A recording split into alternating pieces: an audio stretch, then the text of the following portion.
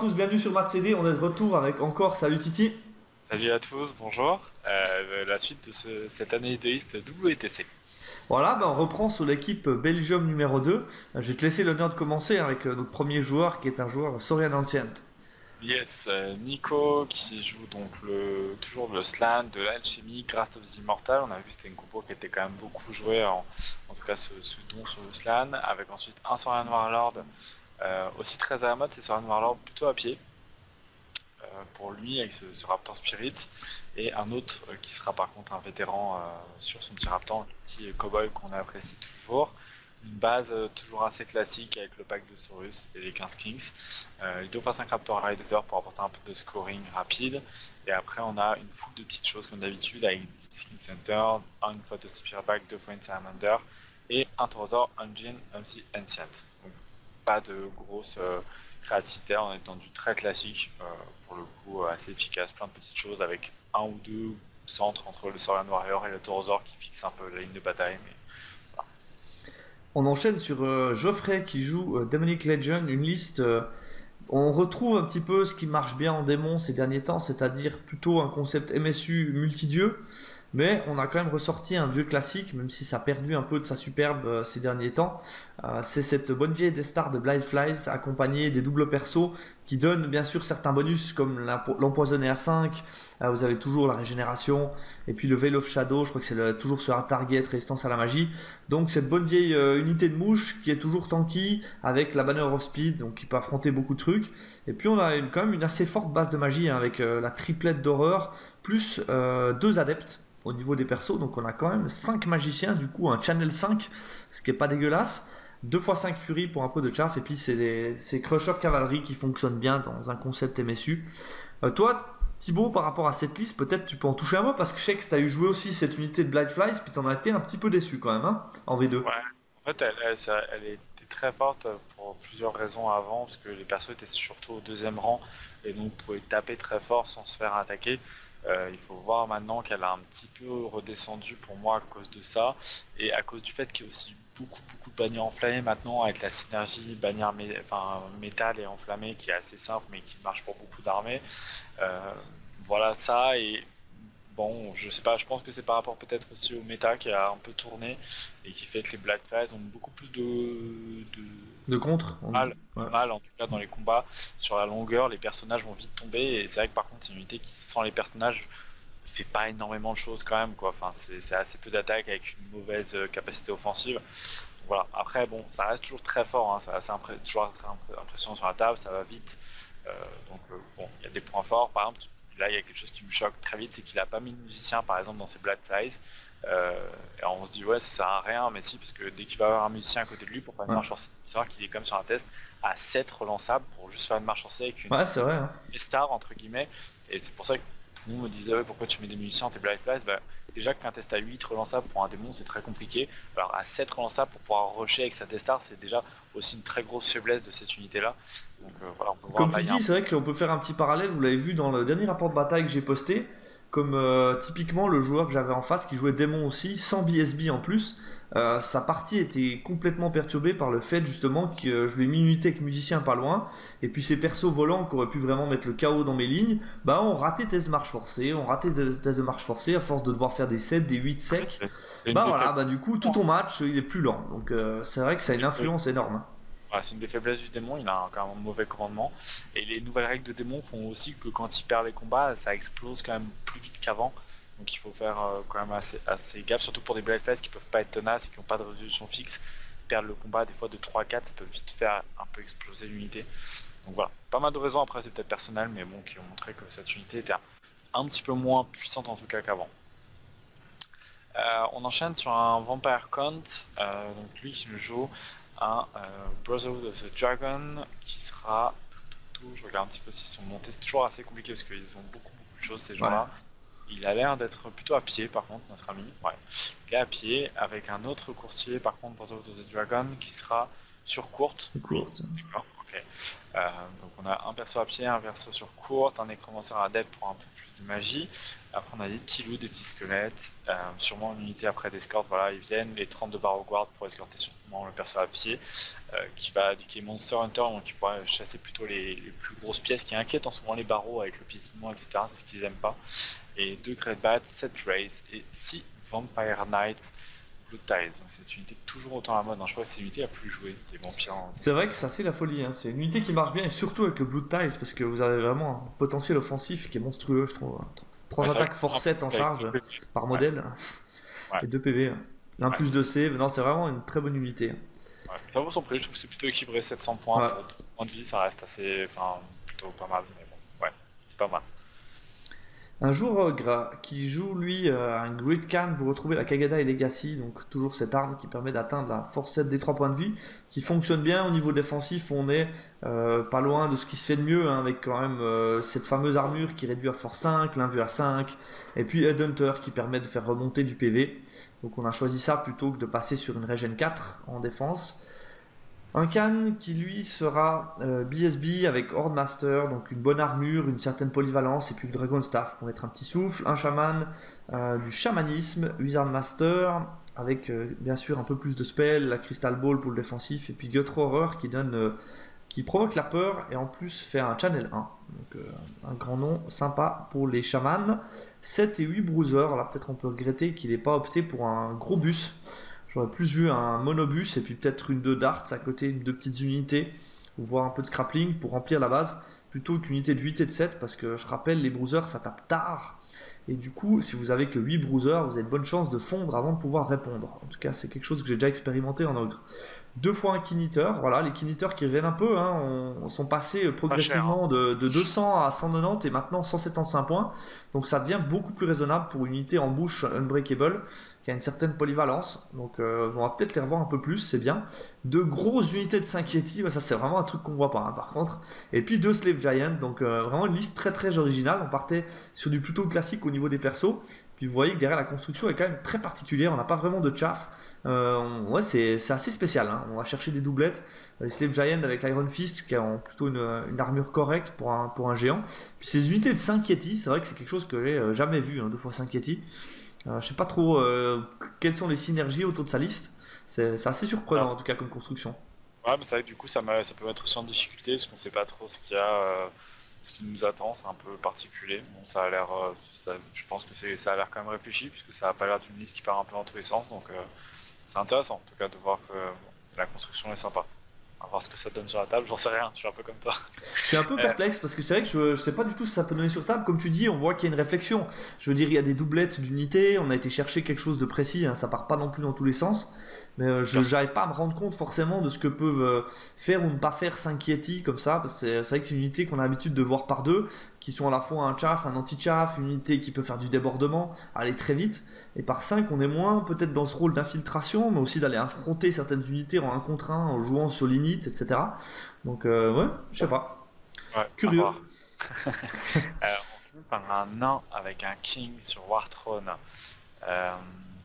donc Destruction, donc avec pas mal, qui va donc chercher ses 3 points de vie, la BSB euh, avec un premier souffle, un Runic Smith avec un autre souffle, et ensuite on a un Dragon Seeker, donc des persos tueurs hein, qui reviennent aussi très à mode depuis qu'on a commencé, recommencé cette 2.0, 32 Clan Warrior avec la bannière avant-garde, 28 Clan Warrior avec la Relentless pour couvrir de 15 avec les nains et Vanguard aussi, donc on a double pack Vanguard, 23 Seeker avec Vanguard, cette nouveauté des nains d'être des armées très très agressives avec des 2-3 packs Vanguard à chaque fois. on rajoute après 2 fois 10 mineurs pour agresser en plus dans le dos avec et les petits steamcopters pour euh, créer un petit peu de jeu sur les côtés en termes de mouvement. Et voilà, c'est la très grosse mode des nains en ce moment. Hein, pour avoir fait les tours en ce moment, on affronte vraiment beaucoup beaucoup beaucoup ça. Que ce soit à base de Seeker, de pack Vanguard, etc. etc. C'est vraiment très à la mode. Ouais, puis des listes très agressives, et là il n'y a pas de machine de guerre, ça va vraiment chercher l'agression, les clauses c'est vrai qu'on a cette nouvelle Maginen hein, qui va chercher des gros gros boosts de clauses. On a une, vraiment une. Ouais, c'est orienté pour aussi aller amener les nains à faire des clauses. Ouais, il faut vous rendre compte que c'est des packs quand même assez consistants, costauds en magie, comme l'a dit euh, Matt, qui font quand même 21, voire plus au tour 1 en termes de pas. Donc donc ça, ça, agresse vraiment très très fort. C'est une des armées qui doit agresser, je pense, le plus fort du jeu. effectivement, dans la game, après, ils sont toujours aussi lents.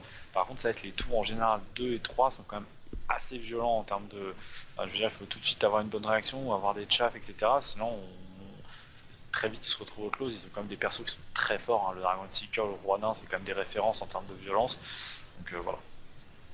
Ben voilà, méta belge, on voit, on a quand même euh, presque dans chaque liste, hein, peut-être hormis la Soren Ancient, une, unité de référence avec un perso plutôt costaud à l'intérieur, voire plusieurs, euh, qui tape plutôt fort. Donc on a toujours cette recherche du point d'ancrage qui sera quand même utile dans pas mal de scénarios, finalement, de pouvoir aller affronter aussi les grosses unités. Il faut soi-même avoir du répondant. Et puis derrière, on a, on a des petites touches d'originalité, notamment cette liste Ogre qui est très particulière.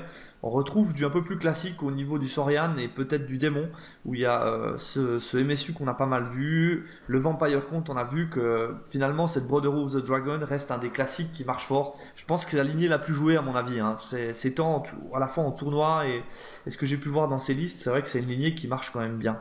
Parce qu'elle met en avant, comme on l'a dit, ces fameux euh, cavaliers vampires qui sont euh, vraiment bons. Ouais, il y a assez peu de dégâts de distance au final. Hein, ouais. Ça conne quand même fort au close et j'ai l'impression que c'est quand même la tendance, ce qu'on a vu. Bah, c'est vrai que pour être capable, euh, comme on le rappelle encore une fois, hein, le WTC, c'est vrai que pour nous c'est difficile de faire une analyse, de dire lui va jouer tel scénario, parce que le WTC, et comme certainement la plupart des tournois internationaux par équipe à venir, vous tirez votre scénario pour tout le monde, pour toute la ronde.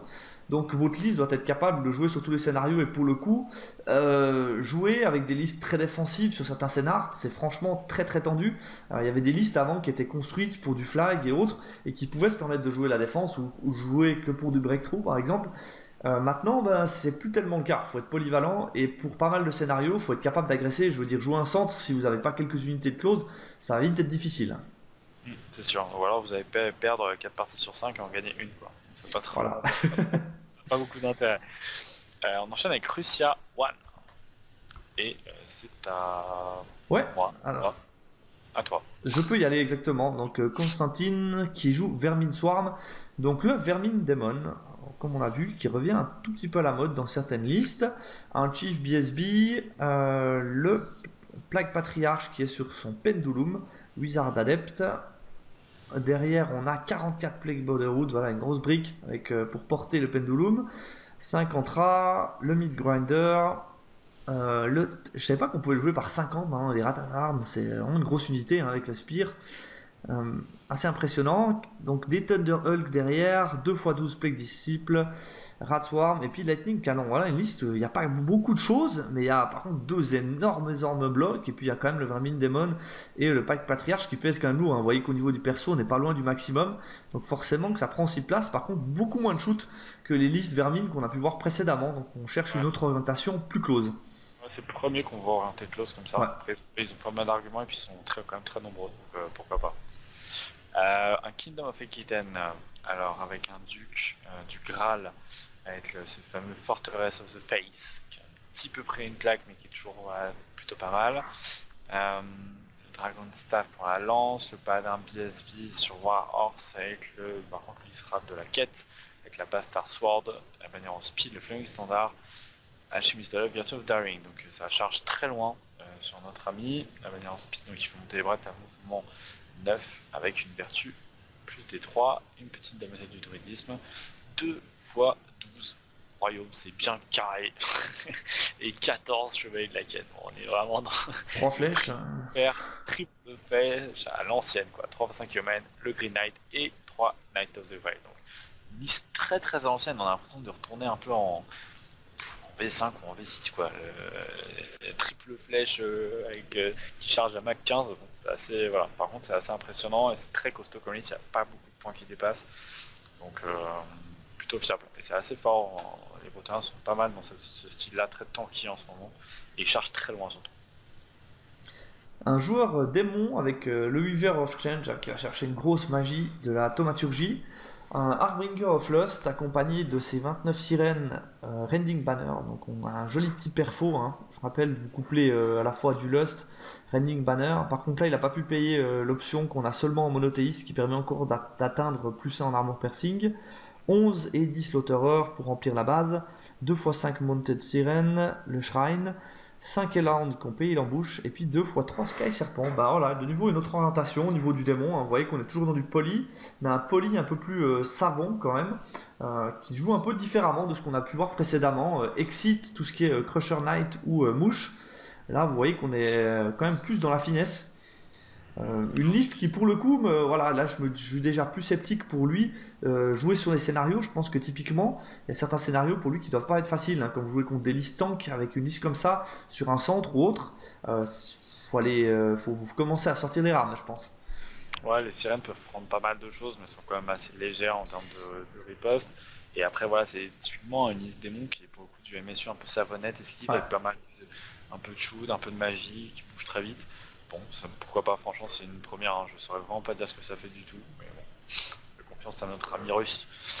Et un Vampire Count après, qui vient de chercher un Nosferatu, ça pour le coup, on les a pas beaucoup vus, c'est plutôt les gros magiciens, euh, qui sont un peu moins chers, il a pris deux courtiers, un autre Nosferatu, donc on est sur une grosse magie pour eux, un Barrow King, donc là on va aller chercher notre pack de barreaux, les deux fois 8 loups, et deux fois zombies, 10 race, 9 race, 37 squelettes, 20 34 Vanguard, 5 Vampire Knight. Clairement sur deux gros packs avec 5 Vampire Knight qui viennent quand même s'incruster même sans les Brotherhood of the Dragon. Et après euh, des petits trucs qui gravitent autour et deux fois 10 rays, enfin 10 et 9 rays pour aller prendre un peu de points. Donc c'est assez costaud, ça, s'articule autour de deux gros packs. Par contre c'est très peu mobile, hein. ça va vraiment être une armée qui va avancer, faire de la magie, et un style assez classique. Mais typiquement sur du centre, c'est exactement le type d'armée qu'on va aller chercher. Warrior, pour terminer, dans ce qui se fait assez classique en ce moment sur le book Warrior of the Dark God euh, V202, doublette de Chosen Lord, on a quand même été payé la BSB, monté sur Black Steed, donc on joue toujours sur cette cave qui sont vraiment fortes en Warrior. Le Sorcerer Master qui lui est à pied de l'alchimie, 20 Barbarian qui feront un bon petit chausson pour le sorcier, 9 petits Horseman pour compléter la base, 3 x 8 Warround, voilà on a beaucoup de chaff hein, avec cette euh, quadruplette de chaff potentiel. 8 Warrior Knight, Flaming Standard et 2x4 Chosen Knight. Donc voilà, vous avez une belle Death Star de Knight. Et puis accompagné des 2x4 Chosen Knight. Donc c'est une liste qui pousse fort. On va vraiment chercher les clauses. Euh, dans ce qui se fait maintenant beaucoup en Warrior. Hein. Vraiment, on voit beaucoup ces Knight, Chosen Knight, perso monté, etc. Donc euh, un méta russe avec euh, des petites spécialités par-ci par-là. Un peu de classique quand même dans ce bon vieux Kingdom qui est vraiment dans un classique pur et dur.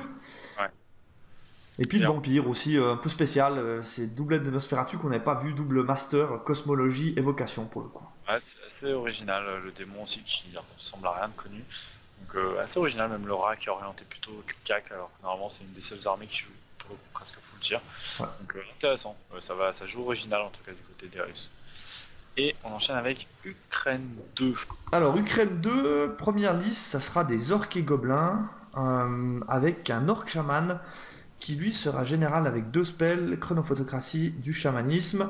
Le Witch Doctor qui lui aura quatre spells, euh, Essence of Remind, Witchcraft Pyromancy. Un Goblin Chief BSB dans son plus simple appareil. Le Warlord qui est pas mal à la mode. Cette fois, il est monté sur cochon. Voilà, avec euh, ah. la bonne vieille hache de l'apocalypse. Hein. aussi un classique qu'on n'avait pas vu. Moi, j'aime toujours bien cette épée. Elle est un peu spéciale, très random. Mais un joli potentiel toujours de destruction deux petits Goblin King sur Wolf Chariot. on a fait vraiment de la spécialité dans ces persos. 20 orques, 48 et 47 Forest Goblin avec des Spears et Green Tide, 15 petits Iron Orc, certainement pour faire aussi du chausson avec les 20 orques.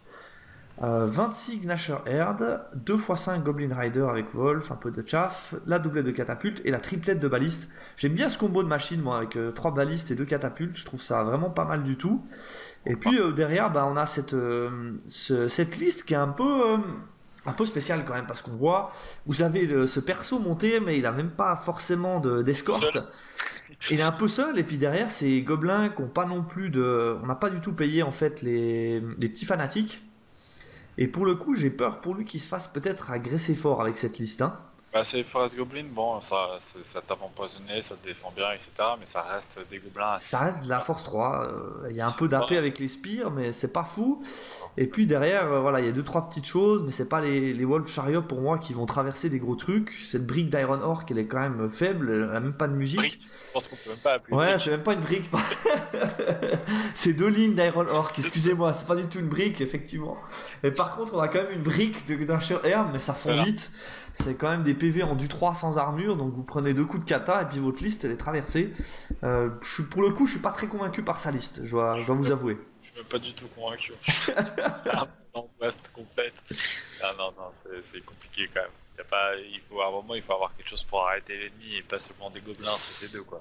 C'est là, il n'y a rien qui retient vraiment, donc euh, je pense qu'il peut se faire rusher violemment, hein, ça va être un peu compliqué pour lui. Bah, surtout, on a vu ce qui closait, hein, il y a quand même du lourd Ah. qui arrive. Euh, on enchaîne avec un ogre can euh, du Mitro Bishop qui nous joue un chaman. On retourne avec le, ce chaman général, 4 spells, qui va nous jouer Essence of Remind, donc chamanisme, pyromancie. Euh, un can PSB, euh, avec la Yeti 4, Binem Cult Leader. Je pense que tu peux plus savoir comment est-ce que c'est. Ouais, Cult Leader, en gros, t'as BSB à 18 pas, donc c'est l'espèce de nouveau grand nom qui Ah remplace le playstyle Elfist, grosso modo. C'est cool. Euh, ensuite on a 10 13 men avec une landing banner, d'accord, sympa. 2 fois 3 bruisers, 7 mercenaries avec les poison attack accurate, classique. 4 Tusker, Great Weapon, 2 fois les Tilo et 1 Frost Mammoth. Mon liste plutôt classique en retournant sur le, le triple bloc. euh, Ouais. Par contre je vois pas énormément l'intérêt du coup d'avoir ce grand nom à 18 pas parce que en général c'est toujours une armée que je suis quand même assez groupée. Ouais, ouais. Ça, ça donne de la, de la souplesse quoi mais bon c'est vraiment... Effectivement, comme tu dis toi, je vois pas forcément le... Je m'attendais pas à cette liste-là après avoir vu le... ce grand nom-là. Mais bon, une liste très classique pour les ogres, hein. ça, ça fonctionne plus ou moins bien, ouais, effectivement. Un Infernal Dwarves derrière, donc un petit Overlord avec euh, bien sûr ce cher Onyx Core, hein, je rappelle, qui peut euh, faire du D3 points de vie sur l'enflammé, qui donne surtout euh, plus 2 en force, plus 2 en AP. Le Death Cheater, qui euh, descend bien l'armure avec la régène, qui fonctionne bien, vu que de base vous avez l'invue au feu à 5.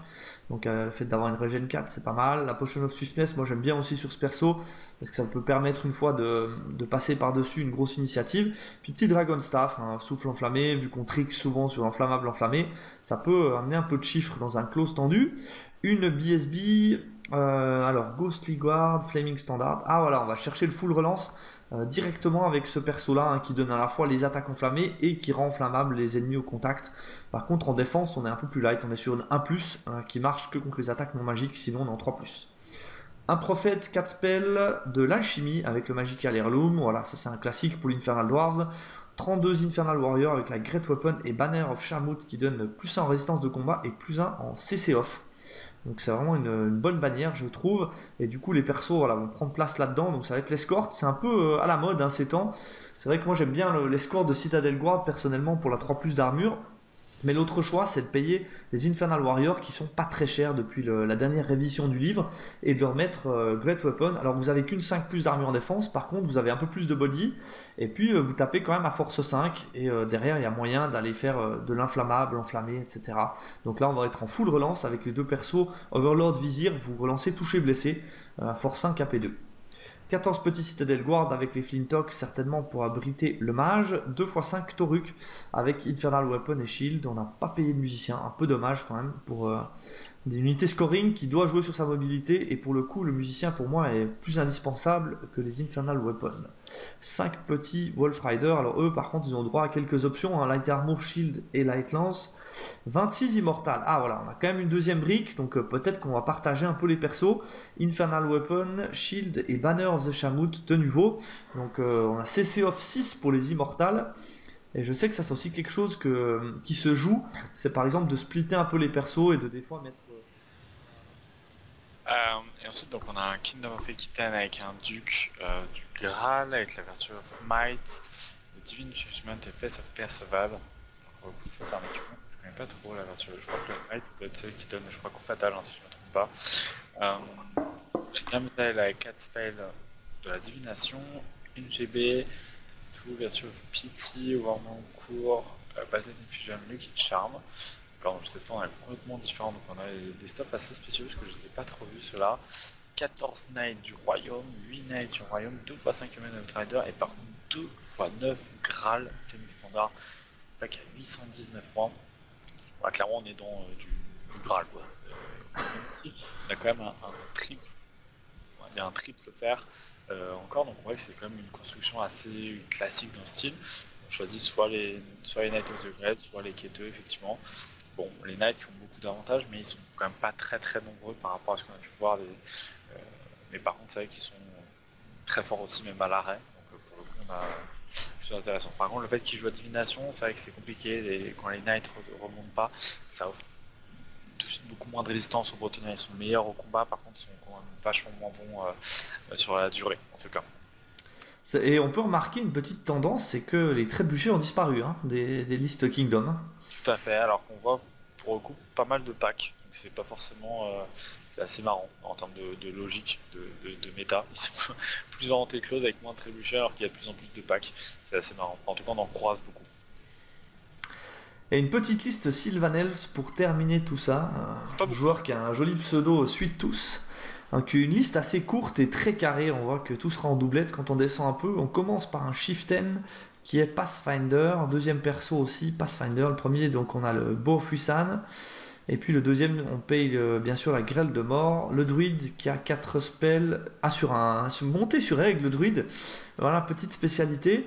Euh, qui a 4 spells du chamanisme, ah, ok, avec un longbow, 2 fois 10 Dryad, 2 fois 10 Rider, 2 fois 6 Kestrel Knight, donc voilà, quand même une petite escorte pour ce druide un peu spécial, et puis 2 fois 9 Pathfinder, euh, une liste très courte hein, en Sylvanel, on se demande un peu où sont passés les points, comme tu aimes bien le dire de temps en temps, là c'est un peu le cas je trouve. Ouais, les, packs de Kestrel par 6, ça prend quand même beaucoup de place, après il a carrément des Rending Banners, donc il veut faire des choses avec. Euh, bon, ça savonne fort comme liste, hein. c'est vraiment euh, liste C'est vrai que c'est impossible à attraper. après, c'est quand même très léger en termes d'armure, etc. On a vu un, truc intéressant, c'est avec le nerf du feu qui était à AP0, on en voit quand même pas mal. Et c'est quand même des listes qui vont extrêmement souffrir. Hein, ah là, ben, il a vraiment peu de, peu de monde dans sa liste. Pour le coup, comme tu dis, dès qu'il y a quelques blasts qui partent, euh, c'est vite tendu à, encaisser. Je pense aussi sur les match-ups de tir, et c'est pas non plus tout simple pour lui. Hein. C'est ça, c'est vrai. Euh, on enchaîne avec Sweden 1. Euh, Qu'est-ce que tu as pensé peut-être en deux mots de, ce, méta, euh, ce méta ukrainien? On a vu des listes cohérentes, d'autres un peu moins. Qu'est-ce que tu en penses? Clairement pas convaincu pour le coup. La seule qui me semble cohérente, c'est comme la liste Ogre. Ouais. En, termes de construction, c'est bien carré, c'est machin. Après, il y a la liste Orc. Clairement, on a vu qu'elle se rusher trop facilement. La liste Elfe Sylvain, je suis clairement pas convaincu. Il n'y a pas assez de monde sur la table. Et ça tire quand même pas non plus hyper fort de chez hyper fort. Euh, bon, après, voilà, l'Infernal Dwarf, ça commençait bien, et après la quadruplette de machines différentes, clairement pour moi, ça... ça manque un peu de focus. On sait pas vraiment ce qu'il cherche à faire avec ces machines, en fait. C'est peut-être ça un peu. Ça manque, ça manque, quand même un peu de chaff aussi. Un seul Goblin, c'est quand même un peu léger. Ouais. Truc, mais c'est pas vraiment fait pour ça. Kingdom, je suis clairement pas convaincu. Parce que je trouve que Enfin, je suis pas convaincu, clairement, je préfère largement même la première. Je trouve que les quêteux et des brettes qui chargent loin, c'est mieux. Là, on est quand même que des packs qui chargent à 8 rapide. Bon, bah, ça craque rapidement une charge, et en plus, il joue la divination, donc craquage de charge plus se faire attraper. Pour moi, c'est deux choses en bretonneur qui font que il faut soit être résistant se faisant attraper, et dans ce cas, jouer la vie, soit. Euh, voilà, enfin, la construction pour moi va pas. C'est soit, dans ce cas, si on joue des grâles, on joue des packs qui chargent très loin, quoi. Parce qu'on veut rentrer des charges. Euh, surtout quand après on n'est pas bon en, en résistance sur le long terme. Pour moi, c'est pas très cohérent en fait ce méta ukrainien. ça manque de profondeur, on va dire. Très bien, ben on continue sur l'équipe numéro 1 de la Suède. Je te laisse euh, attaquer. 1 avec un Iron Dwarf, Cloverlord de Pool of Shamut, euh, avec euh, Oniscore, Gotlov, Mazdam. Donc là, on a un Lord plutôt costaud hein, qui va miser sur un bon profil en termes d'endurance avec le Oniscore. Je pense que du coup, il va avoir une bonne escorte aussi. Un Vizir, du coup, forcément Polo Chamoud puisqu'on est parti là-dedans. Euh, un petit prophète de l'alchimie, ça ne change pas. 40 Infernal Warrior, comme tu l'as dit, full commande, Weapon Fake Standard. Donc là, simple, efficace. Je prends 40 mecs qui tapent enflammé, j'ai un mec qui met inflammable, je mets des armes lourdes. Je prends pas trop la tête. Euh, deux fois les orques slave, c'est la unité qui met cher. Les Red Weapon, euh, deux fois 5 Wolf Rider, 5 taureaux, 3 taureaux Connoted, donc on a petite escorte hein, pour le coup sur les, pour les persos et 6 Kindim à Incarnate qui permettent quand même de cacher les, les persos Toruk. Par contre on n'a pas grand chose quand même pour le cacher, c'est pas énorme non plus. Euh, bah pour cacher t'as que les Toruk Anointed, finalement c'est un mini écran quand même hein, pour placer deux, deux persos avec un socle de 50. Les Tu peux pas, non. Ah, c'est plus petit, les Kadim on est en. Je te rappelle que les Kadim on est en infanterie euh, large, ce qui veut dire taille 2. Par contre, les persos et les Toric Anointed, on est en cavalerie large, ce qui veut dire taille 2,5. D'accord. Vu qu'ils ont la règle tall. Donc seuls les Anointed permettent d'écranter. Pour le coup, c'est un peu sport de, jouer euh, les deux boules. Aujourd'hui, après, par contre, dans les, dans les armées qui pourraient pas gérer avec des machines de guerre les persos, c'est une liste qui est plutôt, je trouve, bien construite. On a un gros bloc qui fixe la de bataille, 6 Kadim, plus les 3 taureaux avec les deux persos qui peuvent former deux blocs assez rapides sur les côtés et pour euh, faire un petit peu marteau enclume un peu classique. Du chaff, euh, pas de shoot, mais au moins c'est un parti pris, on a zéro. Donc euh, ouais, pour le coup, moi j'aime bien cette liste, c'est bien carré, c'est difficile de prendre des points, je pense quand même, hein. c'est quand même bien, costaud. Donc pourquoi pas, franchement, pourquoi pas. On enchaîne avec une liste et gobelin. Donc moi je connais déjà un peu leur liste parce qu'ils sont dans notre pool pour le, premier jour. Les Suède, Suède 1, c'est notre troisième match du premier jour.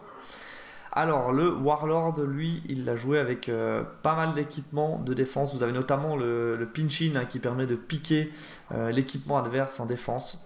Donc c'est un perso qui est bien relou et quand même euh, perdre weapon, qui aurait pas mal d'attaques. J'avais regardé son build, je trouvais pas mal intéressant un petit chaman apprenti qui est sur Bourg Chariot avec le chamanisme. Après, vous avez le Witch Doctor qui lui sera adepte de la pyro. Et après, on a encore un adepte de la Witchcraft.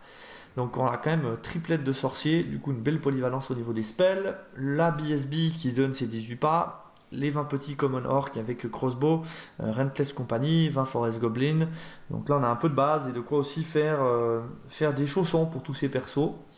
35 Common Goblins qui eux ont deux Shady Git avec le Legend Standard qui fonctionne bien avec tous ces rangs de gobelins.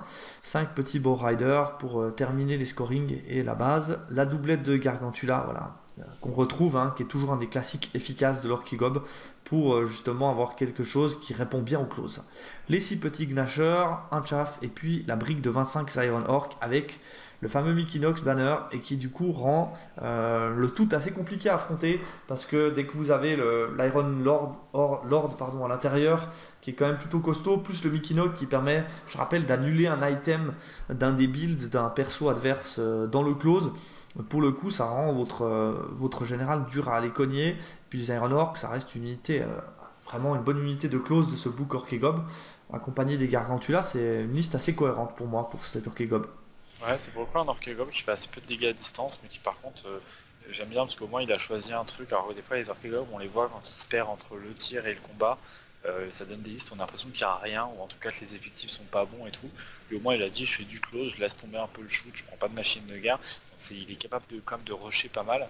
Et ça pour le coup ça rend la liste assez intéressante en termes de construction. Je trouve que le parti pris, il s'est pas perdu entre les deux en fait. Il a moins fait. Euh, ça c'est intéressant on enchaîne avec un Empire, aussi une armée qu'on voit un petit peu moins. Euh, cette version avec un prélat, euh, un prélat en général, un Marshal BSB Great Tactician avec la bannière Relentless, un Wizard de l'Alchimie Master, 2 x 20 Spearman avec le Flaming Standard, 20 Light Infantry, 20 Light Infantry avec les Long Rifles pour le deuxième, 37 euh, Hyper Guard avec des Great Weapons. On les voit rarement avec des Great Weapons, on voit beaucoup d'hypergarde mais souvent avec des shields. Deux fois 5 Craters. Euh, la doublette de euh, Giant qui supporte très fort cette brique d'hypergarde qui commence du coup avec distracting et plus toucher Deux hyper avec un canon. On va rejoindre un petit peu le build je trouve de, du de, l'orque et gobelin, on a un petit peu de shoot en plus quand même, et une bonne magie qui soutient un gros pack euh, très costaud, euh, qui quand même avec le prélat on est sur du ça relance touché avec plus un touché avec distracting etc etc un gros pack les Emperor par 37 avec les armes lourdes faut quand même venir les chercher hein. ça balance des pralines F6 plus un touché pendant tant que vous n'avez pas tué les charrettes c'est costaud quoi. C'est euh, pack très très lourd à affronter pour moi. Ouais tout à fait comme tu dis c'est vrai que c'est un enfer tant que vous n'avez pas géré les charrettes à affronter. Mathias Lagerlöf, notre euh, head judge de l'ETC de l'année passée, hein, qui euh, fait partie aussi du staff 9e âge, donc qui va jouer Ogre Khan pour euh, ce WTC. Il a euh, choisi un master de la thaumaturgie, qui a quand même un petit peu de stuff pour le close. vous savez, hein, personnellement, je suis pas un grand fan de cette doublette Shaman et Khan BSB peu équipée dans une brique de Tribesman, parce que je trouve ça toujours un peu tendre au close. pour le coup, c'est un peu un mix entre un chausson qui peut affronter certaines choses, mais vraiment pas tout. Une doublette de Mammoth Hunter qui pour le coup sont bons. Hein. On a le premier avec la, Regen 4, on a payé deux fois l'avant-garde. Vrester's Bell, donc il est quand même à 2 plus d'armure, 4 plus de Regen. Et il tape en force 6, mais AP2, pas AP3 avec le Vrester's Bell. Et un petit Talisman of the Void, donc en plus il offre un petit channel au passage. Le deuxième, quant à lui, a Span Splitter, donc charge dévastatrice, a plus 1 en force et plus 1 en AP.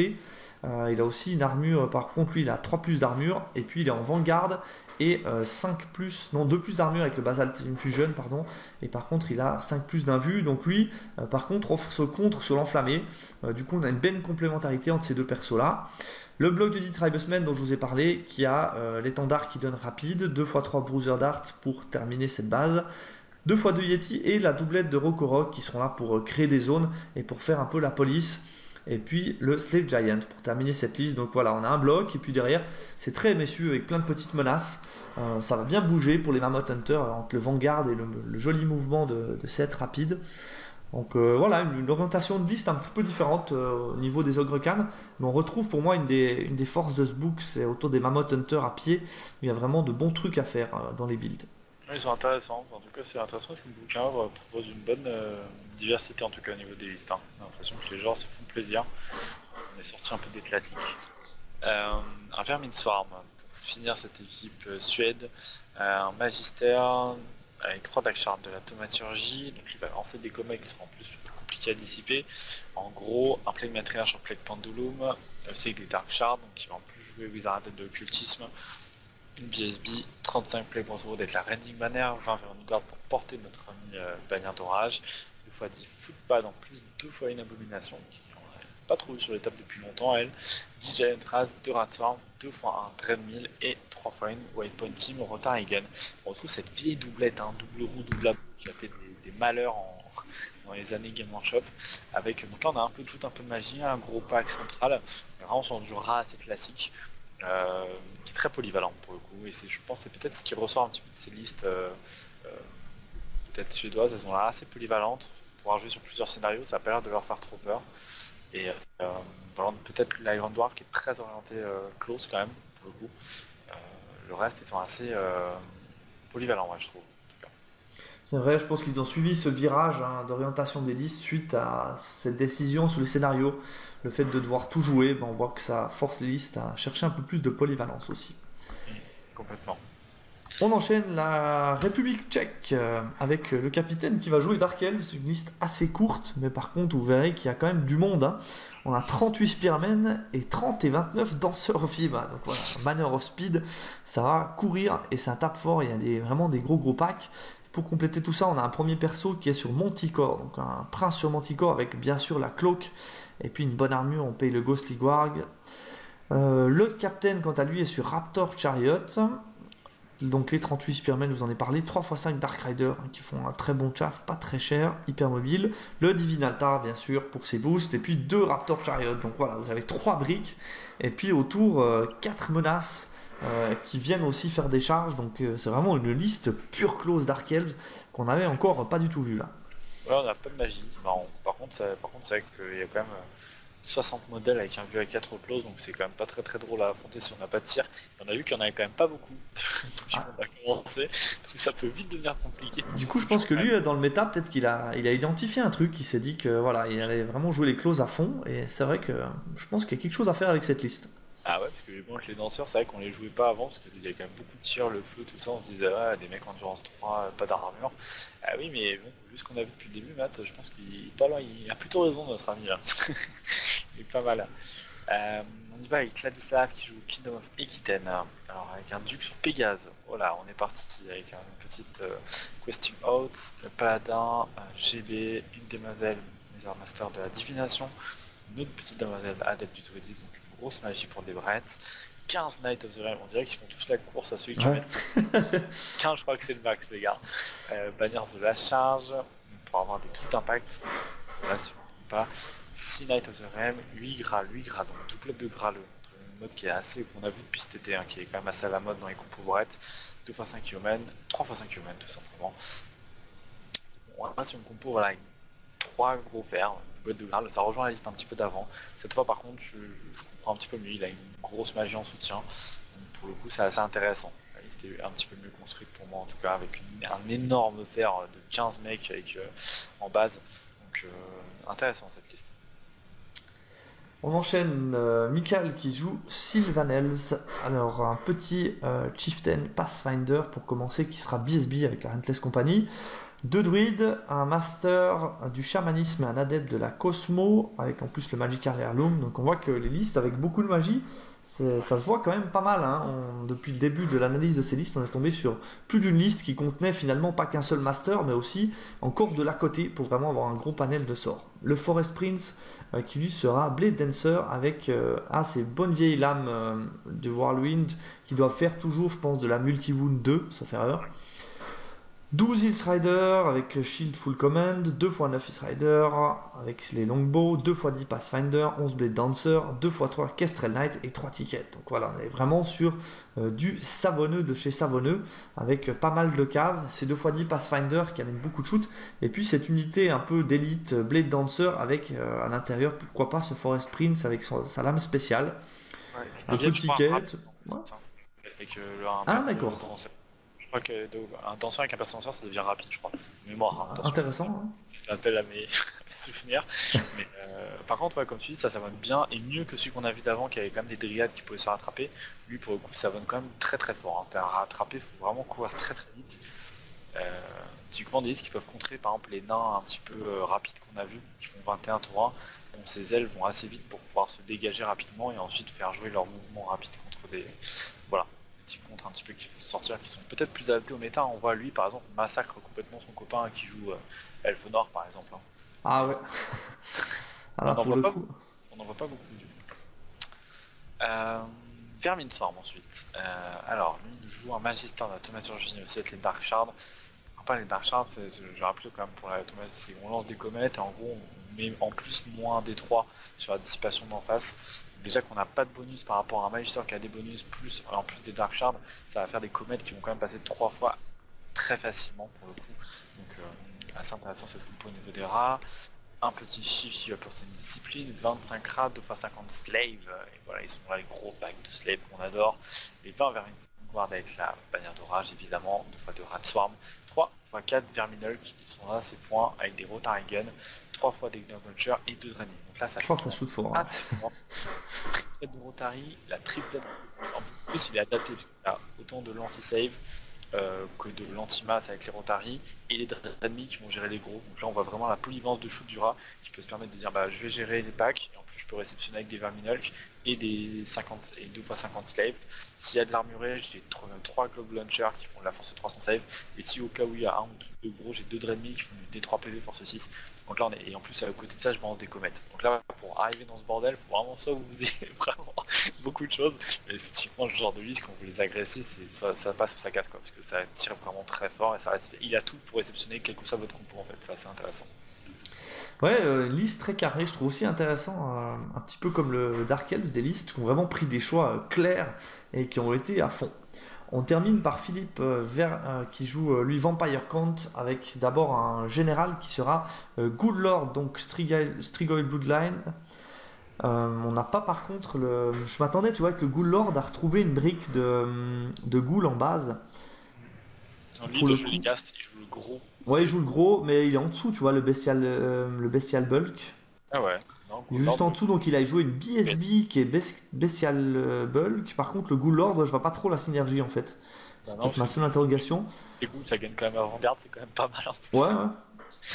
ouais, effectivement. Ouais, parce que dans les ghouls, je crois qu'il donne l'avant-garde et en plus il augmente le poison d'un cran, hein, donc c'est quand même pas dégueu. Pour le coup, c'est un peu étonnant qu'il s'en soit euh, passé. Enfin bref, on continue, donc on a ce Bestial Bull qui lui sera apprentice du chamanisme, donc on a un premier qui lui est adepte du chamanisme, et puis derrière on a encore un master de l'alchimie. Donc voilà, de nouveau on en parlait, hein, grosse magie. Oui, petit vols avec le champion pour faire un peu de chaff en base, pourquoi s'en passer? C'est pas très cher et c'est franchement un très bon chaff. La grosse brique de 60 skeletons avec Albert et une Rentless compagnie, 20 petits zombies musiciens comme chaussons. 9 Gast avec Champion qui vont bien sûr accueillir ce cher Bestial Bulk BSB.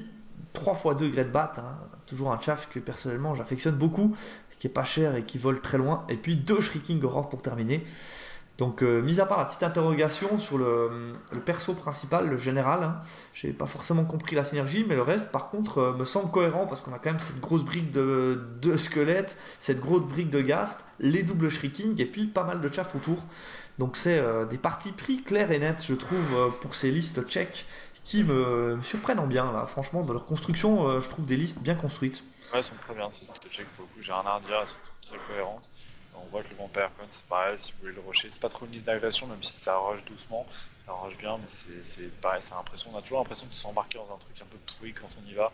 Il y a les 60 dans son avec un 4 le rat qui tire partout, un- un- une savonnette, euh, des graleux avec de la vie et de divination, et après un vampire euh, gros pack avec de shrieking.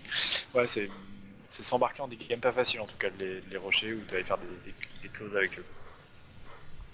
Et on y va avec Sweden 2, euh, avec son capitaine qui a un nom un peu plus suédois. euh,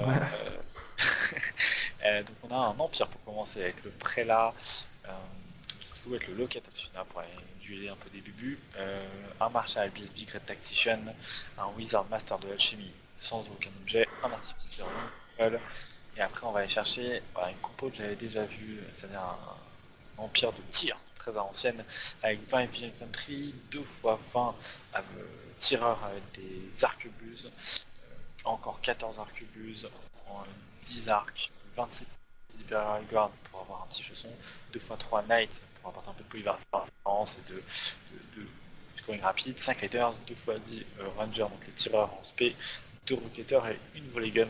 Ça tire fort, je rappelle que les, combinaisons avec les ordres et les artificiers, ça permet de donner à deux unités au moins, et euh, là comme il a Great Tactician, il peut donner à plusieurs, euh, plus 6 en portée ou plus 1 pour toucher sur les armes de tir, donc on a des, de la force 4 perfo 2 qui va tirer à 30 pas ou à plus 1 touché dès que ça sera ça à portée, sur du 4 plus 1, ça commence à, pique fort hein, comme, tir, avec en plus des machines de guerre, des petits scoring, un petit peu de close quand même pour se défendre, euh, pas même beaucoup de chaff aussi, donc euh, voilà, intéressante cette liste Empire.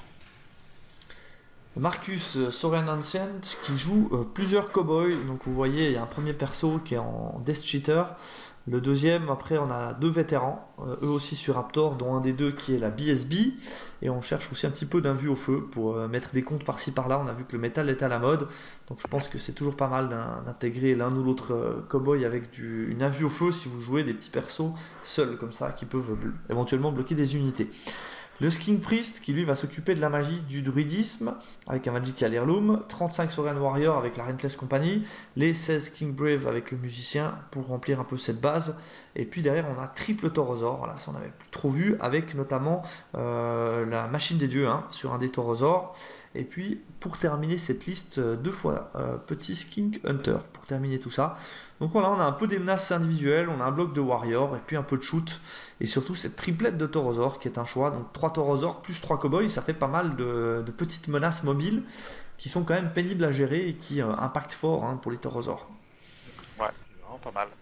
Et on enchaîne avec un Vermin Swarm, décidément on a beaucoup aujourd'hui, avec un Magister de Witchcraft cette fois, un autre Magister avec des Dark et de la Thaumaturgie, décidément, un petit chip avec la Raining Banner, 40 Vermin Guard, euh, Lightning Rod, donc un bon pack de close, deux fois du Footpies, 20 Giant Rats, 6 Verminug en close en plus, euh, il n'a pas mis de champion donc il n'aura pas de musicien, c'est un peu triste quand même comme nouvelle, euh,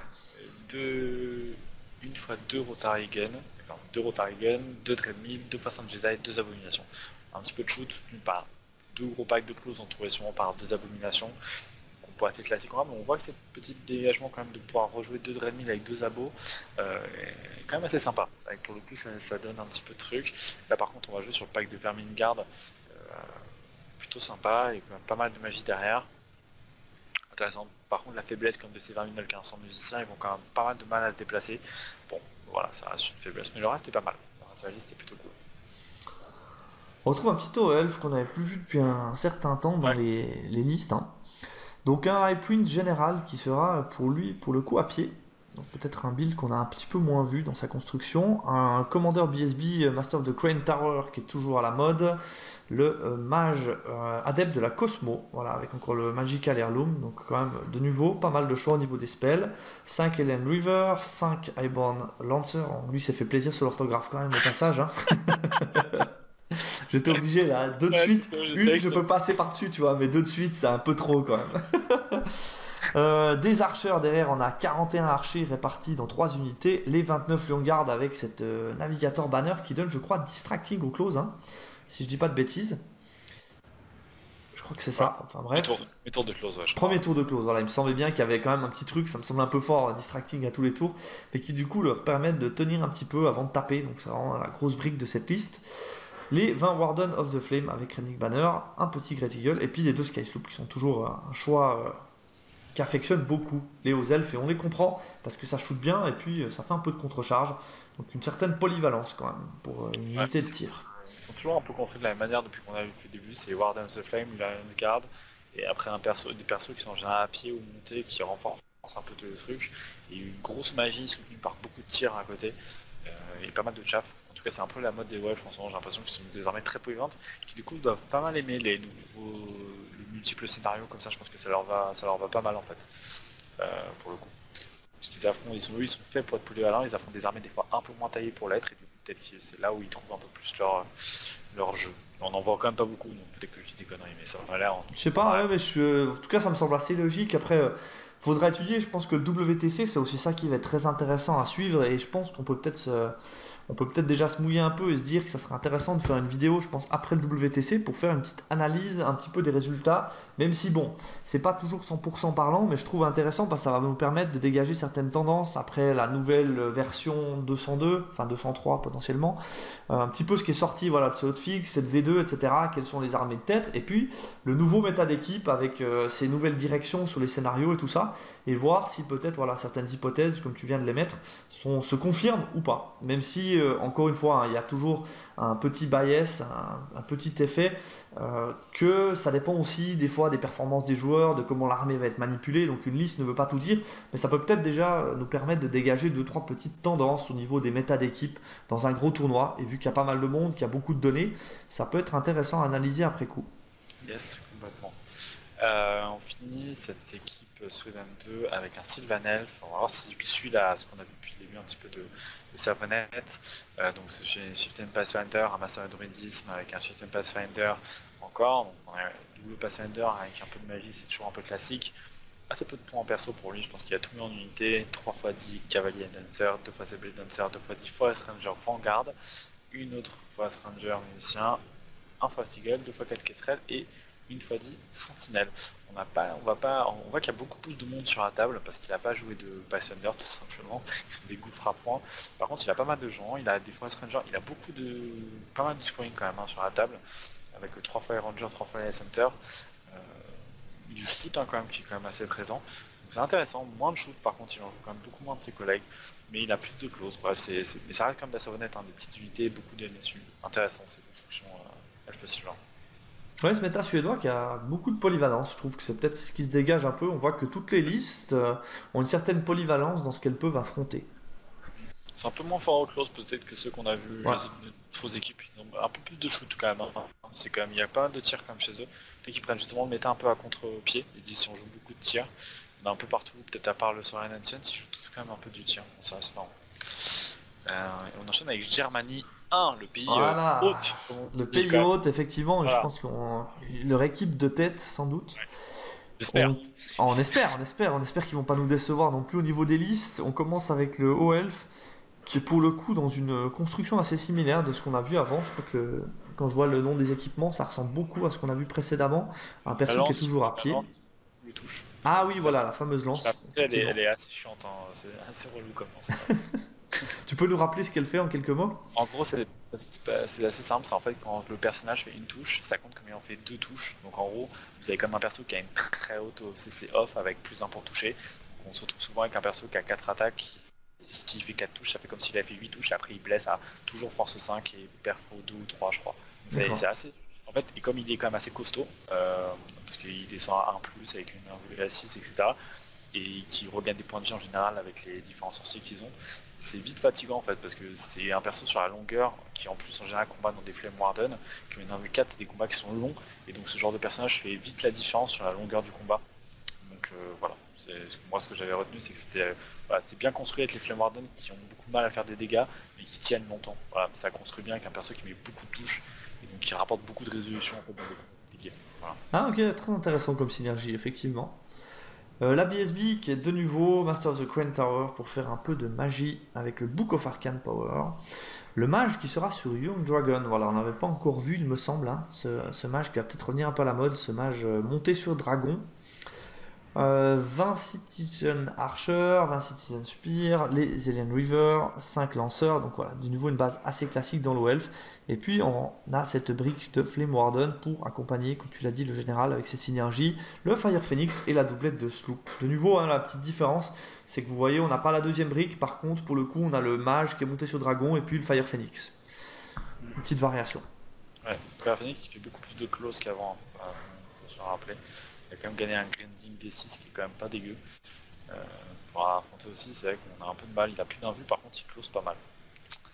Euh, L'orc et gobelin ensuite, euh, qu'on retrouve avec le Warlord toujours à pied.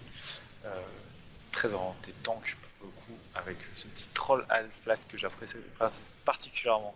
Très sympa cet objet, qui permet de faire en fait à chaque fois que vous tapez, vous rajoutez en plus un vomi troll, donc une touche F5 AP10. AP10, qui est quand même assez cool. Euh, un Feral Warlord sur Black Wyvern, euh, plutôt cool, euh, avec la hache de l'apocalypse, doublette de Lord, un Master du chamanisme, un adepte de Witchcraft, 60 gobelins avec les 3 Fana, 23 orques en base avec des arcs, 26 Common Goblins pour faire un petit peu un petit, un le 27 Iron avec une Mickey 3 fois les balistes, 3 Gotlings et une Green Idol PSB. Donc là encore un peu moins de shoot, euh, ça rush pas mal, hein. on a 60 Cave Goblin, 27 Iron Orc, euh, Green Idol. Ça se défend moyennement, mais c'est voilà, on a, un peu de tout. Peut-être un petit peu moins convaincu pour le coup par cette euh, composition. Je sais pas trop à quoi, qu'est-ce qu'il Je sais pas, ça, tire quand même pas très fort, ça fait pas trop de dégâts à distance, c'est assez spécial. ouais, je sais pas. Moi, je partage ton avis. Hein. Et par contre, alors sauf si je me trompe, mais je vois pas de... Euh, ouais, bah c'est en plus la, la qui fait GB, c'est quand même assez fragile, je me fais gaffe avec les orques. Bon. Moi je la trouve assez tendue à jouer aussi, parce qu'il faut vraiment, dans pas mal de matchs, tu vas devoir la cacher derrière un truc pour pas te la faire euh, défoncer à la machine de guerre, donc... Euh... Ouais, c'est... Voilà. Euh, je pense que certainement qu'il va éviter au pairing, vu qu'il joue la Vuverne en plus à côté. Il va vraiment essayer d'éviter au pairing de jouer contre les, la doublette de canon, parce que ça va lui faire vraiment beaucoup trop mal les machines de guerre en général. On voit que je crois qu'il n'y a même pas d'invue hein, sur le perso survivre. Vous voyez qu'il a vraiment joué full offensif avec euh, l'âge d'Apocalypse. Donc je pense vraiment qu'il lui au pairing il va éviter à tout prix les machines. On enchaîne avec euh, Johannes Moore qui joue euh, Full Lust, voilà une liste dans euh, les grandes lignes qu'on a déjà vu, je vais pas passer beaucoup de temps dessus, hein. c'est la liste très très mobile, vous l'avez dans un rapport de bataille que je viens de poster aussi également, je me fais un peu de pub au passage, avec la doublette de Clofins et puis la machette. On voit très bien les principales faiblesses de cette liste. on voit très bien ses forces et faiblesses, exactement. Et en, bah, tu peut-être Torplénis en termes d'empire, je pense qu'il y a des choses à dire, je te laisse faire et je finirai par le kidnap. Ça marche très bien. Alors, euh, doublette de Marshall. Donc le premier qui a ce Death qui peut donner euh, du coup le coup fatal sur une unité. Euh, le deuxième Marshall, qui est un petit peu d'équipement défensif. Le Wizard Master de l'alchimie avec le, Magical Heirloom. L'alchimie aussi assez utilisée pour les, joueurs Empire. Un petit prélate aussi avec un peu de défense. D'accord Plate Armor, Shield, Willow Sword, on va être sans doute en, en 4-3 en 2+ un artificieur, un artificieur qu'on n'a pas encore vu, donc euh, l'ingénieur, 20 light infantry, 2 x 10 state militia avec les bows et le skirmish pour créer un peu de trafic, 35 heavy infantry avec les halberds, 2 x 10 state miliciens supplémentaires, donc on a 4 briques au total, 2 scoring, 2 pas scoring, les 35 Imperial Guard, comme tu l'as dit, une des unités stars de ce livre Empire of the Nantal du moment, avec la Raining Banner pour contrer un tout petit peu le fait qu'on est en arme de base bouclier, les 4 Sun Griffon aussi pas mal joué, doublette de canon, le Volleygun et puis un petit Arcane Engine pour terminer. Donc euh, c'est plutôt shooty, c'est polyvalent parce qu'on a un peu de close avec cette double brique, un peu d'émessu pour faire du trafic, du chaff, euh, une certaine euh, ouais, une polyvalence dans cette liste et puis quand même le double canon qui est je trouve toujours intéressant dans un méta d'équipe, parce que ça permet de contrer. On a vu que du gros ton qui se balade seul, il y en a quand même dans pas mal de listes et pour le coup de pouvoir un peu les coincer de temps à autre, c'est pas mal. Absolument. Et on finit par un Kingdom of va voir si suit un peu la, tendance, avec les 4 spells du chamanisme, un duc, euh, qui joue de la quête avec la Bastard Sword, et un plus relançable, le Paladin aussi de la quête avec le Daring, et donc pour charger un peu plus loin, Sydney inspirant, on n'a pas encore vu, un gros bus de Realm parce que pas déconner, et par contre les Night Forlorn, c'est une unité qui arrive un peu dans les tournois petit à petit, c'est Chevalier de la quête à pied tout simplement, avec la Relentless, donc on va aller chercher du rush, on rajoute 10 quêteux à côté, et voilà, ils sont là notre trébuchet maintenant. Les trêves, ouais. Et Night, voilà, les chics qui vont sur une belle place hein, dans le méta qu'on a vu jusque là où il y a du pas qui a bourriné quand même avec.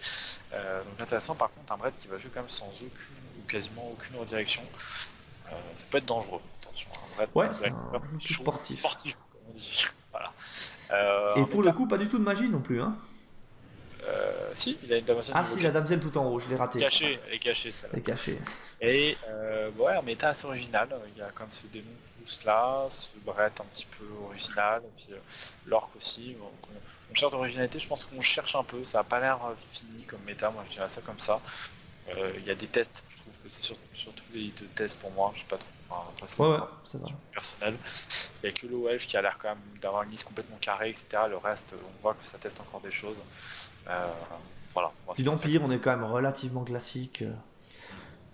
Il y a un peu ces briques qu'on voit un peu tout le temps, hein, Imperial Guard, Sun Griffon, une petite brique en base, doublette de canon. Ouais, c'est une construction euh, Voilà. classique. La Moldavie, bah, Moldavie qui est euh, nouvelle nation qui apparaît, hein, je savais pas qu'ils avaient un... Je vois pas. Je crois je pas qu'ils avaient un pays. J'oserais pas, je suis pas... Je sais quand même que la Moldavie existe, mais c'est que vrai tu que... vas. Que tu fais quand même gaffe à ce que tu racontes. Non mais c'est vrai que la Moldavie, euh, qu'on qu'on connaît pas encore tellement sur la scène internationale, on les a pas encore trop rencontrés dans les gros tournois. Je sais pas s'ils ont déjà fait les ETC, je crois pas, hein. Là, en tout cas, à mon avis, ça me dit rien. Après, je veux, je veux Ah, pas tu vois. Pas qu'on les vexe parce que s'ils sont déjà venus, j'aurais vraiment l'air de. Mais ça Les gars, on est désolé.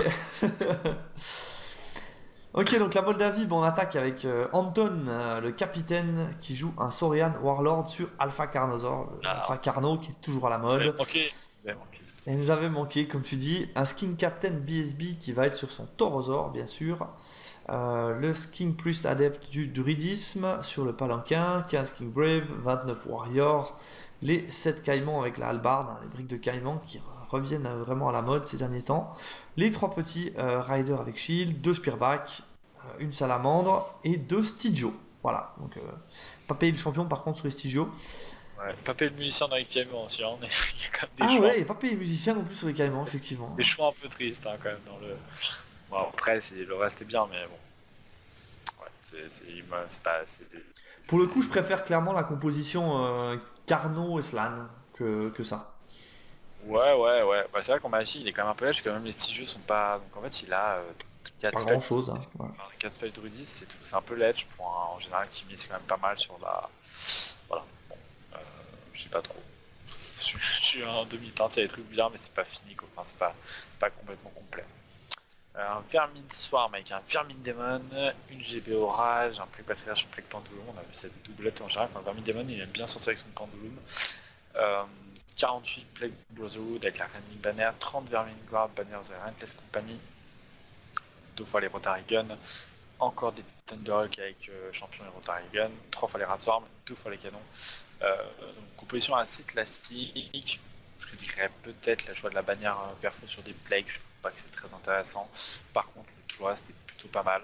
Euh, 30 Vermine Guard, par contre, je comprends pas trop l'intérêt de cette unité, je ne pas faire grand chose. donc euh, je suis un peu en demi-teinte, 30 Vermine Guard, ça se fait vraiment rouler dessus rapidement. Faire attention, par contre le reste est assez cohérent. Euh, il a les canons pour gérer les gros, les rotailles pour gérer quand même la masse. Euh, donc, le reste est plutôt pertinent.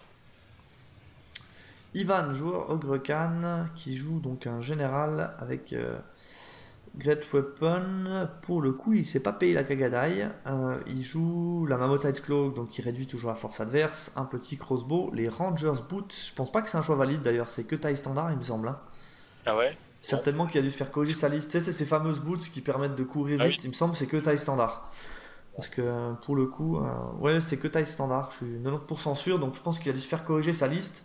Euh, il a payé le Troll Eater pour quand même avoir la Regina 4, mais pour le coup un peu triste dans le, choix offensif, on a à la fois ce fameux point d'acier qui permet de toucher à 3+, qui fait du létal, la P3, etc., qui est un choix intéressant, ou alors euh, bouger sur le classique Agada Small, là c'est une triste arme lourde. Euh, un peu dommage. Un chaman adepte euh, du chamanisme avec Magical Heirloom, pour le coup que trois petits spells en magie. Le Can BSB, euh, de nouveau le Cult Leader à 18 pas, on va voir le reste de la liste si on a un peu des messieurs ou pas. 12 bruisers, donc voilà, par contre une grosse brique pour accompagner les persos, 2 x 3 bruisers, 1 x 3 bruisers avec une petite bannière. 3 tigres, la doublette de canon qu'on n'avait pas trop vu dans les listogres, hein. il y a des canons qui sont devenus un peu plus chers, et pour le coup, ça fait un bel investissement en points. Une petite scratapulte pour la triplette de machine. Puis 5 petits bombardiers, certainement qu'il va les mettre son mage là-dedans. Voilà, on est un petit peu shooty, euh, sans trop. Et puis, euh, c'est vrai que je suis pas forcément convaincu sur les builds des personnages. Une nouvelle fois, je vois pas forcément ce que le Cult Leader vient amener dans cette liste, parce qu'il n'y a rien qui va partir très loin, certainement. Euh, ça peut quand même se faire agresser, hein, hormis la brique, on voit qu'il n'y a pas grand chose qui met, qui met la punition en close. Donc, pas très convaincu par cette liste honnêtement. On va voir. Et un Emperor Sunstal ensuite avec un prélat encore, avec le Ketosuna. Un Marshal Great Tactician, un double adepte pyromancie alchimie, un artificeur, un steam tank, un canon, une charrette arcane, 31 Imperial Guard, bannière Infinity, 3 United de Sun Griffin, 20 Crozonnet, 20 Gunner, donc avec les fusils, il a mis longue rifle partout, donc c'est tout avec des fusils. Euh, et Gunner, c'est ceux que je trouve qui ont plus de CT. 18 crossbowmen encore. De 24 sur... C'est un peu le bordel, ça c'est assez chiant. ouais, c'est dans tous les sens. à la fin, il a remis des rangers à la fin. Euh, bon, en gros, on a du shoot avec encore la brique centrale, le steam tank en plus en profondeur, on a qu'un seul canon. Par contre, le reste est quand même assez euh, classique et assez bien foutu. par contre, il n'aime pas les musiciens, lui. Hein. Non, il a pas musicien, il en a mis une. Par contre, c'est vraiment des horreurs. Hein. Les prospects, quand vous avez des unités d'infanterie, sans musicien, c'est imbougeable. Enfin, c'est vraiment très, très compliqué. Même pour les tireurs, pour beaucoup de l'Empire, les seuls tireurs qui, avec l'ordre plus important touché, peuvent se permettre en plus de, de faire des reformations rapides et de tirer pas trop mal, alors qu'ils ont des armes à moins 2 en shoot. Mais quand ils sont à courte, ils peuvent encore maintenir un rafale à 5 euh, grâce à ça. c'est quand même pas dégueu de mettre des musiciens sur ces unités-là, et là pour le coup c'était vraiment vous avez une unité qui rentre derrière vous comme des mineurs ou des choses qu'on a vu, des pistes en chamanisme, vous pouvez même pas vous retourner pour tirer, quoi. c'est quand même un peu la tristesse. Donc euh, bon, pour, moi c'est un, gros manque là-dessus sur cette liste-là. Et puis on termine par Pavel qui joue Warriors of Dark God avec euh, une faveur. J'ai triché, j'ai été vite lire dans le livre Warriors qui était cette faveur slot. Faut que je m'informe au fur et à mesure. on a dit que c'était un des axes d'amélioration de cette année, c'est les faveurs des Warriors. Alors cette faveur, voilà, qui fait euh, pour le coup moins 1 pour blesser, mais qui marche seulement si vous vous faites charger. Sachant que le garçon est monté sur une Black Steed, c'est quand même un peu triste, je trouve. Euh, c'est vrai que c'est pas quelque chose qui inspire beaucoup. Je trouve qu'il y a des, des, faveurs beaucoup plus offensives qui sont plus intéressantes pour ce type de perso. Il se dit qu'il va rater des charges, Matt. Voilà, il dit qu'il va rater ses charges, et pour le coup, il, encaisse. C'est peut-être un, gars qui tente les Exactement, il sait que ses jets de dés sont pas bons, et pour le coup, il se dit, je prévois le coup, quoi. Allez, un petit, double adepte. On joue sur euh, évocation, euh, aussi montée avec euh, deux trois petites choses. Un chrono de photocratie. Donc voilà, c'est pas le Chosen Lord qui va être le général de l'armée, c'est un des sorciers. Donc le deuxième, on est sur Alchimie qui sera lui sur un Dark Chariot avec Ghostly Guard Hero Hard. Donc il va aller faire du close le garçon. 8 euh, Barbarian Horseman, on leur a payé aussi un peu de stuff, hein. c'est rare qu'on voit les Barbarian Horseman euh, pas dans leur simple équipement, mais là ils ont quelque chose de plus, Heavy Armor, Lightland, Shield, Standard Musician, donc euh, full option, 40 barbares avec les spears, un flaming standard, 3 Chosen Knight, 3 Chosen Knight, 2 x 5 Warhound, les 7 Chosen of Slot, et puis deux petits Warrior Chariots. Donc voilà, une liste pas mal de menaces, un peu une autre orientation que ce qu'on a pu voir. On voit aussi au niveau des marques, on est sur autre chose que ce qu'on a pu voir précédemment. Euh, voilà, l'équipe Moldaz, on voit tout de suite, c'est beaucoup plus expérimental. Hein. Je pense que on ne sait pas leur manquer de, respect que de, leur dire ça. C'est vrai que c'est des compos qui ont l'air un peu plus expérimentales, voire pas toujours très bien terminées ou hyper cohérentes, si on peut se permettre. Euh, bon, voilà, je vois, il y a deux trois choses quand même qui je pense pas qu'ils ont non plus des listes archi ridicules, hein. on, va, va pas non plus être trop dur envers eux. Mais c'est vrai qu'il y a deux trois petites finitions, on voit que ça pêche un tout petit peu. Euh, des fois, pas toujours des choix clairs. Et du coup, ça va peut-être se payer. Ouais, ça, ça se un petit peu en termes d'effectifs, de choix de composition, de, de bas, etc. Il y a quand même des petites choses qui font les détails entre des, équipes. On voit qu'il y a peut-être pas forcément une différence de niveau de genre, mais une différence en termes de peut-être d'expérience, euh, en termes de construction, euh, de liste, etc. Des fois, joueurs peuvent être équivalents, mais bon, dans la construction de la liste, il a un qui va avoir plus de facilité à créer quelque chose de cohérent, qui ensuite à la table va peut-être répondre mieux. Voilà, un peu ce qui se dégage ici. C'est vrai que comme tu le dis, il y a aussi euh, déjà un avantage qui se prend avant la partie dans la construction de liste. Et là, on voit qu'il y a des joueurs qui ont des spécialités dans la construction, qui ont une certaine expérience avec une armée et qui, pour le coup, arrivent avec une liste un tout petit peu plus optimisée et qui partent déjà avec un, avantage dans, dans, le match-up. Ben pour terminer cette partie 2, on va attaquer euh, l'Austria team numéro 1 avec euh, Merlin pour commencer. L'Autriche en général est connue pour jouer des, plutôt des bonnes listes. En général, euh, l'Autriche ils sont assez connaisseurs là-dedans. C'est vrai qu'on les avait affrontés, c'est en général une bonne équipe. Ouais, c'est une équipe assez costaud qui a très peur sur les tableaux en général. Alors, on va avec euh, premier joueur qui joue Vermin Storm avec un Vermin Demon en général, qui est quand même un mode. Vermin Demon, on peut dire qu'il est carrément rentré dans le méta complet des rats, avec ensuite un GB euh, peu cher, un Magister avec euh, de la Witchcraft pour le coup. adepte seulement. Je joue quand même beaucoup sur la magie du jeu Armin Demon, 25 rats avec la Relentless, 3 fois 10 pas dans le musicien, 2 fois 55 slaves, donc on va chercher le max, 2 fois les plaques catapultes, 8 grenadiers, 2 fois les Doom Wheel, 4 Thunderhawk avec les Nafta et une Abo. Un compo aussi, on va chercher un rack quand même très polyvalent avec beaucoup de monde sur la table, des scoring assez multiples et rapides, euh, une composition de shoot, on voit les rats qui vont toujours chercher, bah là on a les plaies catapultes pour la masse et l'armurier, et Domui qui vont gérer peut-être les unités à PV multiples et les gros monstres. Euh, on se rajoute en plus un after launch sur les Thunder pour amplifier ça. Donc on a vraiment cette polyvalence de shoot, ils vont pas chercher à spécialiser, mais pouvoir dire bah moi je peux gérer tout type d'armée en termes de tir, et ça c'est assez intéressant en termes de construction. Euh, voilà, et on va ramener un peu de mouvement avec la Witchcraft, le Vermin Demon qui va pouvoir zoner un peu. Donc c'est intéressant comme construction de liste en tout cas. Catal qui joue Infernal Dwarfs avec euh, une doublette de Bull of Shamut, on l'a déjà vu précédemment. Par contre, cette fois, on a une construction, on n'a pas de perso qui tape fort en X-Core, on a une construction qui va plutôt euh, chercher à affronter des unités avec euh, beaucoup d'attaques, grâce aussi aux boules qui génèrent bien sûr les touches enflammées. Donc euh, double perso, derrière on a ce prophète qui sera euh, toujours master de l'alchimie, un classique en Infernal Dwarves, doublette de Flintlocks, les 20 Hobgoblins et Beau, et une unité de 30 Orcheslés, voilà il a payé 10 supplémentaires. Pour le coup vous voyez que le coup en point monte euh, très clairement, ça prend vite l'ascenseur avec les Orcheslés.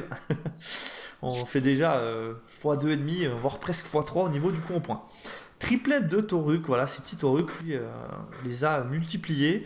Euh, pas d'Infernal Weapon pour le coup, par contre, musicien, champion et standard, on voit qu'on veut éponger un tout petit peu euh, certaines briques qui pourraient faire des défis champions pénibles pour les boules.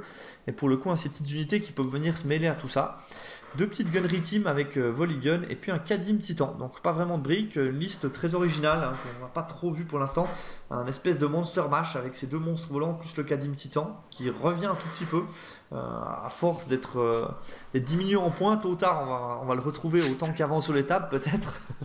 et puis petite spécialité avec ces Toruk, mais pour le coup, vous voyez assez peu de tirs avec uniquement deux gunnery team. Ouais, c'est vrai qu'une compo assez plutôt un peu MSU en... qui intéressante Iron Dwarf, ça court un peu de partout, il y a des persos un peu relous.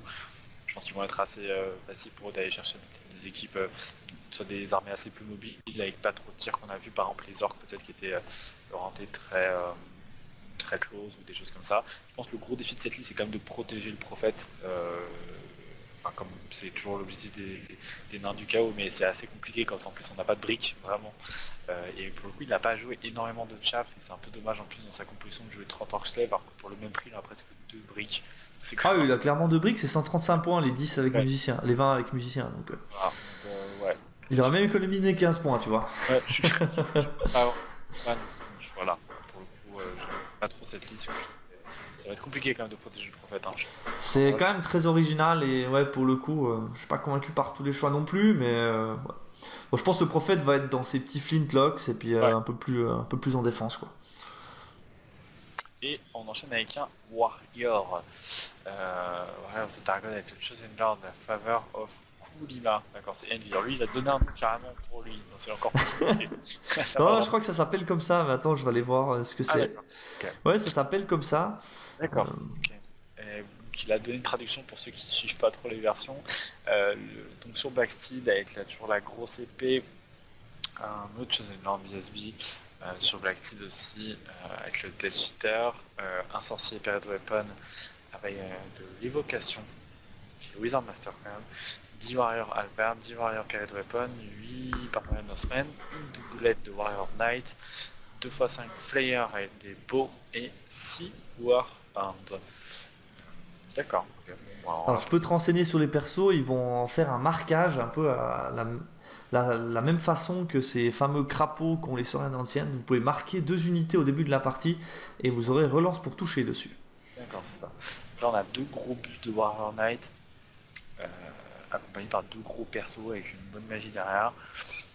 Voilà, plus des petites briques en base. Bon, c'est une composition qu'on a déjà vue. Euh, c'est assez classique, hein, c'est composition de tous les persos. Voilà. Il n'y a pas, pas grand chose d'original dans leur construction. Gaban, qui est en Dark Elves avec un oracle Wizard Master de la Cosmo, le Captain BSB avec Destiny's Call, euh, petit albarde, 2x5 Darksider, 5 Darksider, 20 Dread Légionnaire avec une Redless Company, certainement le chausson, 15 petits Dread Légionnaires de plus. Ah, les Dread Judge qu'on n'avait pas encore vu, il me semble, en Dark Elves, avec euh, Banner of the Blood, 17 Tower Guard, donc euh, quand même des petits packs plutôt. 2 fois Dead Reaper et puis 3 Kraken pour terminer, donc un petit peu de monstres, Euh, des packs un petit peu slim pour le coup peut-être. Ouais, c'est pour le coup, ça me choque un peu pour le coup, parce que c'est quand même de l'endurance 300 save. Hein, Ça peut fondre un peu vite, hein. les 17 Tower Guard, je sais pas combien vont arriver au close, mais euh, Ouais, ce c'est un peu slim. et ce qui se dit que les Kraken vont attirer toute l'attention, c'est aussi fort probable. hein. Ouais. parce que les Kraken c'est pas à sous-estimer. Bon voilà, après la force, des, la force de l'armée est clairement dans les trois Kraken, hein. les autres packs sont plutôt an- entre guillemets anecdotiques dans leur construction, qui sont vraiment pas assez nombreux. Mais bon, oui, pourquoi pas. Et on finit par un haut elfe euh, qui va nous jouer un High Prince de la Master of Carrying Tower, donc avec 5 spells, euh, un autre euh, Captain BSB Fleet Officer sur un Skyloop, ça fait longtemps qu'on l'avait pas vu lui. Euh, 33 ensuite Spearman avec la Rima qui est une Devastating Charge, euh, 3 fois les Rivers, 15 Flame Warden avec la Warbanner of Rima, 24 Lion Squad avec la Navigator, 2 fois 1, 6 Guard Reaper et 12 Queen's Guard. Ok, bon composition, on a quand même toujours un peu de shoot, euh, avec toujours ce double pack euh, supporté par une bonne magie. On rajoute en plus un petit GV sur un Skyloop. Pour le coup, voilà, c'est plutôt pas, c'est plutôt pas mal. Ça rejoint les autres hein. Euh, Qu'est-ce qu'on peut dire sur cette compo peut-être pour finir sur cette compo autrichienne? Je sais pas, je suis pas trop, je euh, maison quoi. Il y a quand même pas mal de choix perso. Tout cas, c'est assez original dans la construction. Ça, on peut pas. dire. Maison, ouais, voire expérimental, c'est vrai que j'ai aussi comme toi quelques petites interrogations, il y a des choix un peu moins carrés si on compare avec d'autres méta qui nous semblent déjà plus solides sur le papier. Euh, Après des choix maison, donc on ne sait pas forcément ce que ça peut donner. Peut-être que voilà, il y a aussi euh, des fois on peut aussi jouer un peu sur la surprise, hein, jouer des listes maison que les gens n'ont pas trop l'habitude d'affronter, ça peut surprendre à table. Ouais, des fois, surtout quand c'est bien manié, des fois ça peut être fluide quand on sent. Bah, ça semble pas déconnant parce que les choix sont quand même pas mauvais. Dit mais pourquoi est-ce qu'il a fait ça comme ça? Voilà, c'est un peu le choix par exemple sur l'elfe noir. On peut dire peut-être a des joueurs qui peuvent arriver quand même à, mettre en difficulté à la table hein, par leur façon de jouer et leur, euh, habitude de jeu. Donc euh, toujours pas sous-estimer quoi qu'il arrive. Ok, très bien, bah, c'est tout pour cette deuxième partie. Vous voyez qu'il nous reste encore quelques listes à couvrir, donc on va vous proposer une partie 3, voire 4. On verra si on arrive à tout couvrir en une fois ou pas. J'espère, comme d'habitude, que ça vous plaît au niveau de l'analyse, de la revue des listes. Euh, voilà, on essaie un peu de vous donner nos avis. Peut-être que, comme d'habitude, hein, peut-être que vous avez d'autres avis aussi. N'hésitez pas si vous voulez partager en dessous de, de la vidéo. hein, il y a de la place aux commentaires. On est toujours ravis d'échanger avec vous à propos de, de certains avis qu'on a et peut-être que vous ne partagez pas ou que vous partagez. Merci beaucoup pour votre fidélité. Merci à toi Titi, comme d'habitude, hein, de nous éclairer dans tes analyses. Et puis euh, on se dit à bientôt, bien sûr, pour la troisième partie. ouais, à très vite. Salut.